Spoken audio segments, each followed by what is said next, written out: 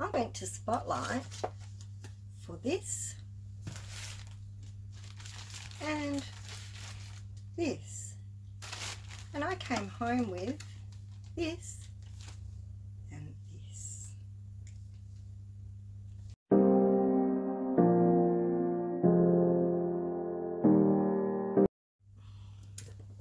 Hello everybody. I am back. I thought I would restart my YouTube channel with a pattern fabric haul why not it's Christmas I went to Spotlight, like I said in the introduction, for two things. For some double-sided tape to finish a bag that I'm currently making. I'll show you that hopefully next week.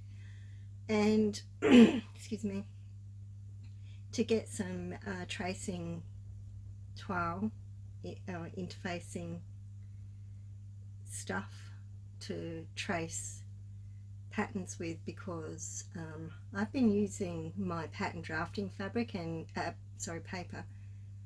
One it's expensive and two it's not it's okay depending on the sort of pattern. If it's a A0 printed pattern with black ink it's fine you can see no problem to trace it. But if it's a uh, paper tissue pattern with the blue print it's a bit tricky to see it and so um, I thought just get some actual tracing paper or it's I'll show you what it is. Um, it's good because oh there's my face right up close. Um, you've probably all seen it before. It's simplicity. It's called trace toile it's um, it's a bit like sew in interfacing um, sort of it's a it's a non-woven fabric. It's the best way to I'm trying to break into it to show you. I think it's the best way to describe it. There we go. Twinkle, twinkle, twinkle. There we go. I'm sure you would have all seen this stuff before. I used to use it all the time and it's actually really good and your patterns do last for a long time um, and it's not too difficult to uh, do things like you know make alterations where you might um, slash and spread a pattern or something anyway so I went for the double-sided tape and the tracing um, stuff and I had just a few days ago received um, an envelope in the post or I should have got it anyway, I received an envelope in the post, uh, Spotlight catalogue, Spotlight deals, and I thought, don't even look at that. Just don't look at it. Put it in the bin. And I put it on the kitchen bench to go in the bin, and of course, Wayne would never just chuck a Spotlight voucher in the bin because I might get grumpy. So it sat there, and this morning I thought, oh, I'll just have a quick look. Might be, might be able to, you know, save a few dollars on the double-sided tape or something because it's quite expensive. And I saw that patterns new look Vogue new look Vogue sew and Burda yeah, new look Vogue sew and Burda patterns for $10 which is $2.50 Australian each which is like I don't know five bucks in every other country for four patterns so it's amazing and so I couldn't resist going and having a little look-see and let me show you what I purchased. So I spent a sneaky $30 on patterns, but I'm pretty happy with them. Some of them are um, inspired by Shan from Kittenish Behaviour, as I'm sure many of you watch. Um, and so, um, yeah, anyway, here we go. So we've got uh, New Look 6574. I really love um, this View A. I like the, the longer length. I have a um, review, which is an Australian designer, uh, review dress very similar to this, which I absolutely love. The only difference is that the review dress has slightly more ballooned sleeve with a um, gathered in cuff and that would not be very difficult to alter so uh, yeah that will be a, a fairly soon that will stay out not get put away um, even though it is summer here but I will make it ready for winter then I saw this Vogue V8333 and this is a Claire Shaeffer custom couture pattern. I have a few Claire Shaeffer patterns and I've done some of her custom couture classes and I have one of her books I'm pretty sure um, and I really like the style and shape of this and I thought it would look great with um, with what other oh I can't believe I've forgotten the name of them anyway with a pair of wide leg tailored trousers which for which I have a pattern they're the oh, the Pauline Alice Sorrel trousers. So uh, I thought I might, I've got some lovely wool. Um, I'm going to, to do a trial of that because I already know I love the pants and they fit. Um, I've got some lovely wool but it might not be enough. I might have to look at, uh, because the Pauline Alice sorrel trousers take a lot of fabric because the legs are very wide. That makes them they're very wide no they're I don't know they're probably about that wide at the bottom or for each one. So you can't really ordinarily when you cut trousers you you know you put the legs together and then you've got the top of the trousers hanging off the end sort of thing and that way you reduce the amount of fabric that you use when you lay them but you can't really do that with the Pauline Alice trou sorrel trousers because they're so wide. Anyway, let's move on. So that's the idea for that um, blazer is to make a um, suit, a in particular. Then I saw this one and I thought, um, to be honest, I would wear every one of those versions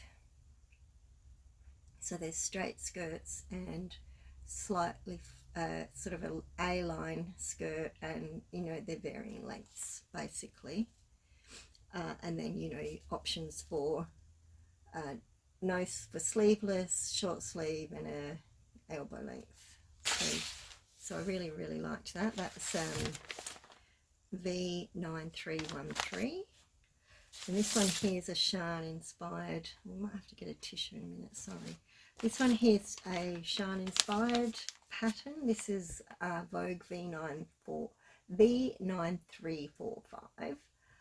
Um, I love, again, all of these and the same as Shan, if you haven't seen hers, um, I would, excuse me, I, I would cuff the sleeves because they'll end up in your suit if you don't. Okay, so the next pattern is another Vogue V9 296. I actually think Shan has this as well. I think I may as well just be like Shan number two in this pattern haul. I love everything that she does. She looks amazing in her clothing that she makes herself and if you haven't seen Kittenish Behaviours YouTube channel and you're interested in sewing in particular dressmaking and dresses, go and watch her. She's brilliant. She's very, very likable and um, she makes alterations to these generic patterns, size alterations, to make them look as beautiful on her as they do in these illustrations. And she is just a normal human being like all of us. We're all slightly different, you know, shapes. None of us fit these patterns, but she alters them to fit herself very, very well, is the point I'm trying to make. Uh, anyway, back to uh, V9296. I love this dress. Um, I really actually quite like the long one, but I think I'd go as somewhere between the two. Um,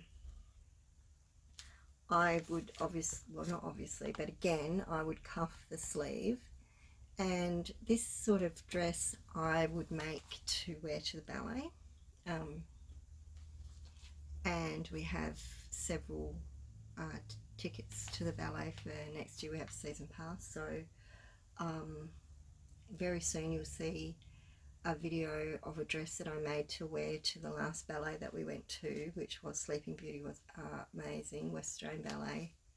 If you live in WA, go just once, just once. If you've never been to the ballet, you can get a ticket for like 30 bucks. You don't have to get any fancy seats.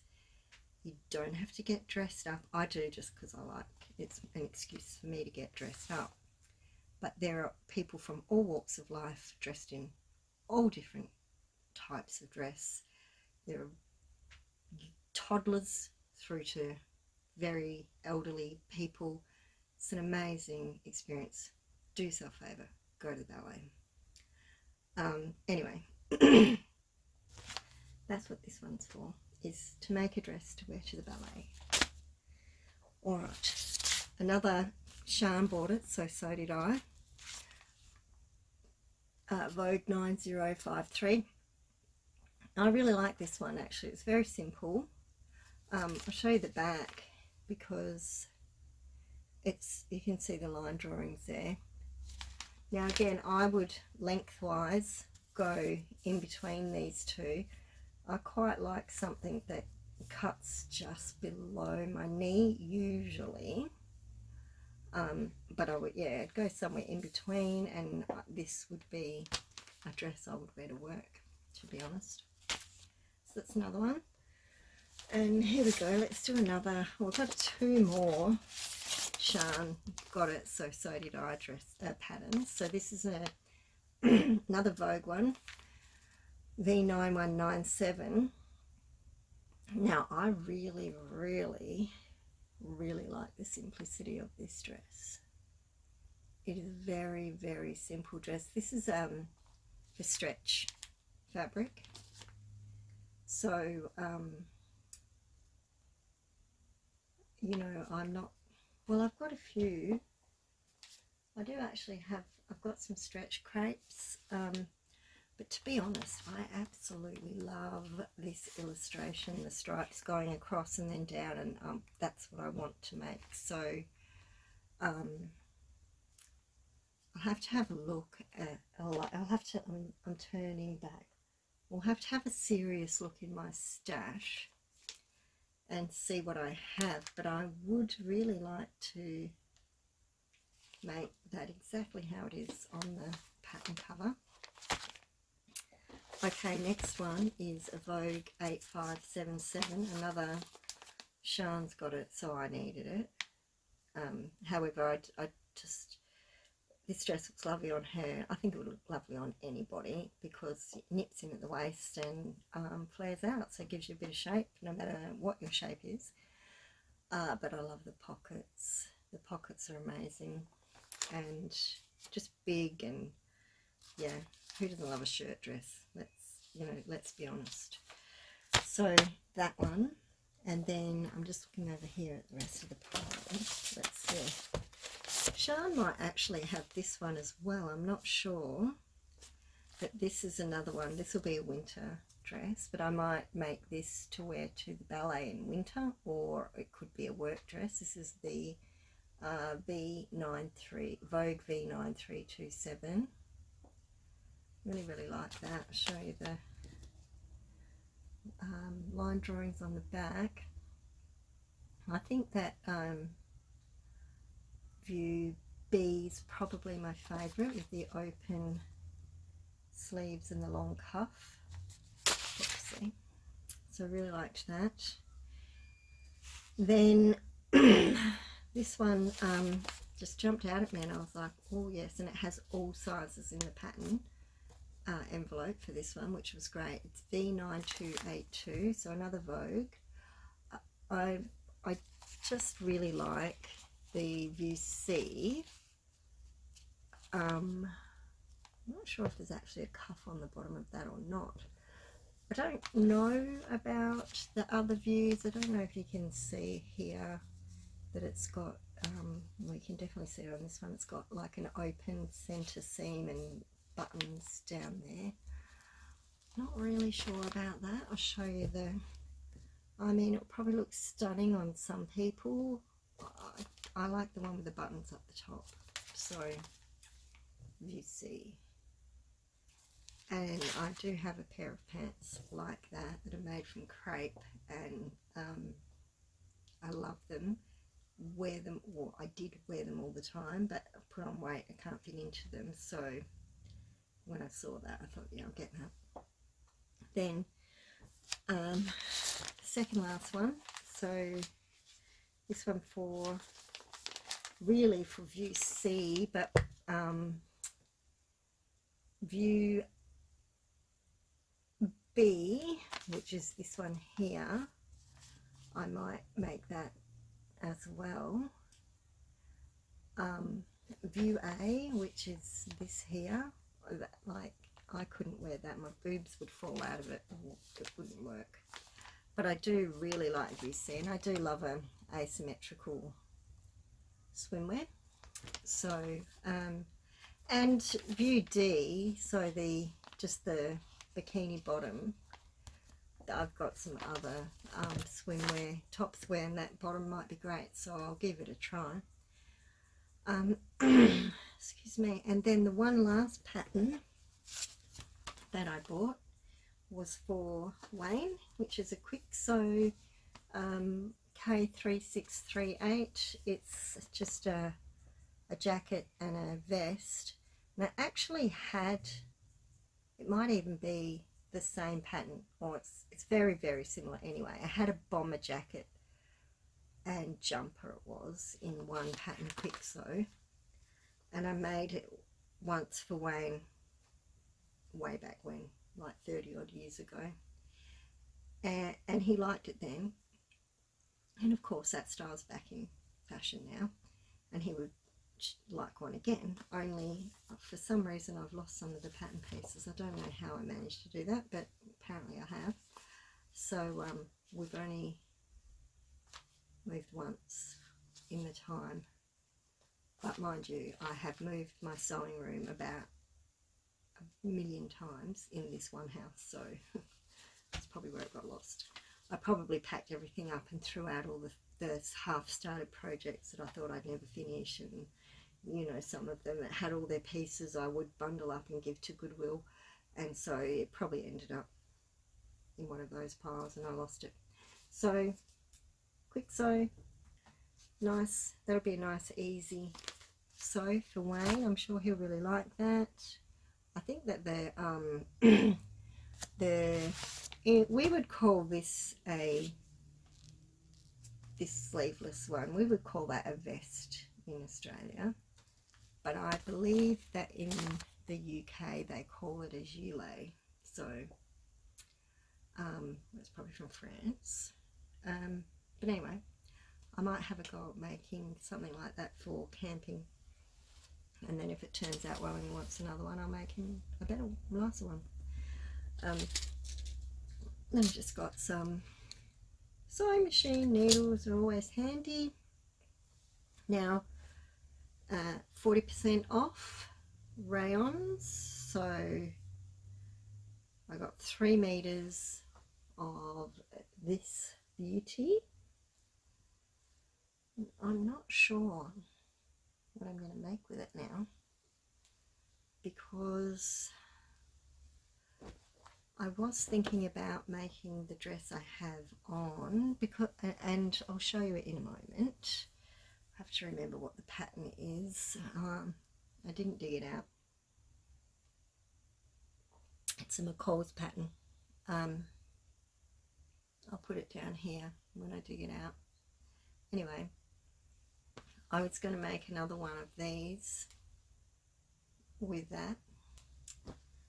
And then I got this one here as well, which is a bit like um, Candy Stripe volunteer uniform in hospitals in the US, three meters as well.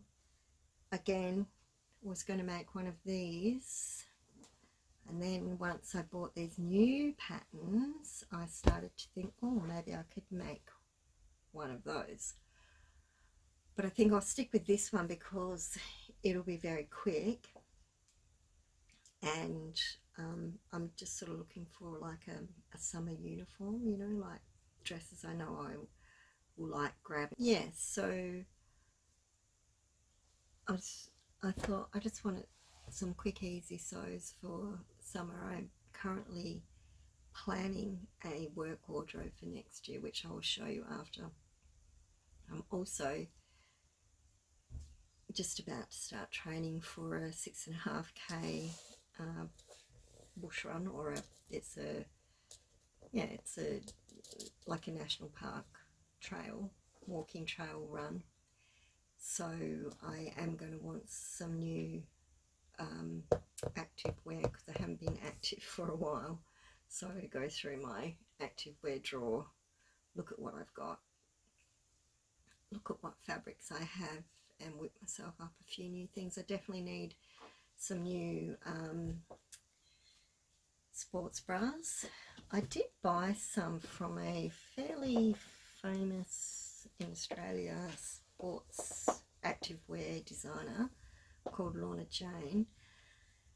And I've got to say, I'm, I'm just not a huge fan of the store-bought sports bra. I have had a lot of luck with the endurance sports bra by Green Style and it zips up in the front which means you can get a really good tight fit and um, that's great. And it's relatively easy to get off. So um, I'm going to make myself some more of those. It's just a matter of you know because my size has changed doing a 12 and making them up and there's a part of me, I don't know if other people think this, sorry, I can just see my hair's a bit caught up there. There's a part of me that is reluctant to make myself anything new because I've put on weight and I don't really want to make things for a bigger me because I don't want to be this big. I need to lose weight. And then the other side of me is if you don't make yourself some new clothes, you're never going to feel good about yourself and then you're never going to do anything for yourself to keep improving yourself because you feel bad about yourself so you constantly feel down. So I kind of am you know stuck in the middle with that but I've decided to push through so we'll be making some endurance sports bras soon. And uh, in the meantime so I guess I've got a work wardrobe which I will start probably in about three or four weeks um, I'll be planning. And some things that won't matter if they're a little big like a blouse I'll make now.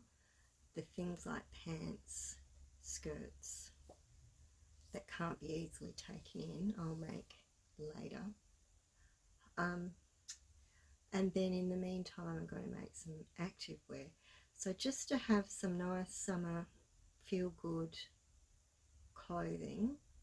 I made myself some high-waisted shorts and um, they're just elasticated ones and I'm going to make myself a couple of these um, dresses that I have on now. I'll put the thing in the doobly-doo. I'll show you the full dress in a moment and um, I'm thinking that I'm just going to shorten it a little bit for the summertime so I'll just move you so you can see the whole dress.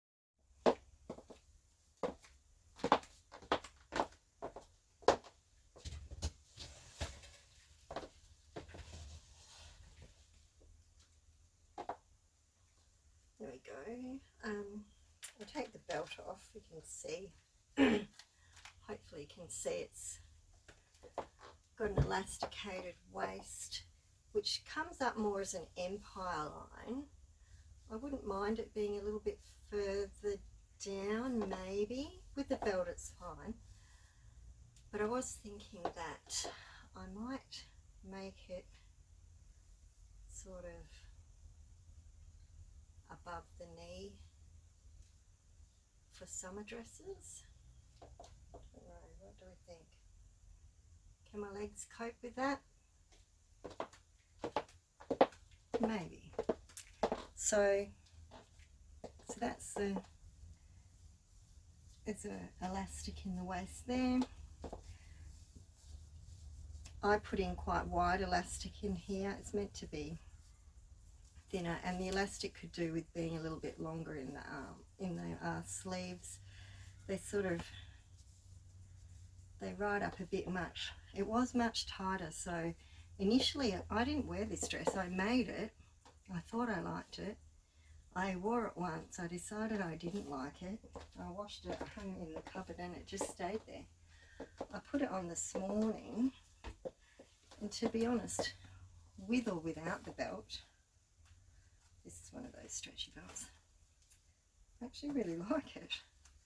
And I thought, I don't know why I didn't like it. I think that if I'm honest, what I, I think it was two things. The elastics was too tight. It's a bit looser because I've lost a little bit of weight, not a lot, just a smidge to come off here, obviously, nowhere else. And I think the other thing is because when I look at the gathering, which I'm sure you can't see, but when I look at it, I'm like, oh, that's not very good. So then I don't like it. Anyway, can see the distress that my sewing room is now in. Um, I just wanted to share that little Christmas fabric, well not Christmas fabric, but Christmas pattern spotlight haul with you. A little present to myself, I guess. Not that I need it because we all know I have way too much stuff.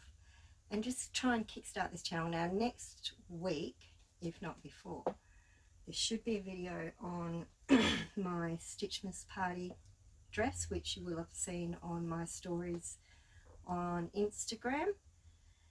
Um, I will I'll put that those photos just in my feed as well on Instagram if anyone wants to see them. But there will be a video coming soon on, on the making of that dress. I did film it uh, as I was making it, so I just need to edit it together.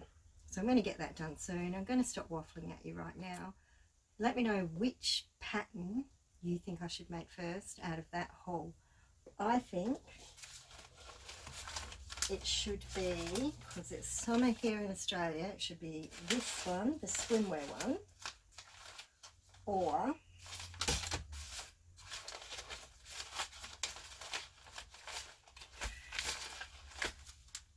this one, because it's very summery. So which one do you think I should make first? Let me know in the comments down below. Should I make the bathers, I'd be going for view B, so the A line, that's sorry, the asymmetrical, or should I make the dress? Let me know in the comments below. And hopefully I'll be back talking to you again very soon. Bye for now.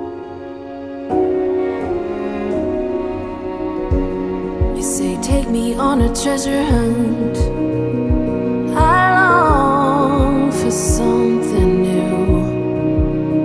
Have you heard the fairies when they sing and dance? Oh, I wish it was me.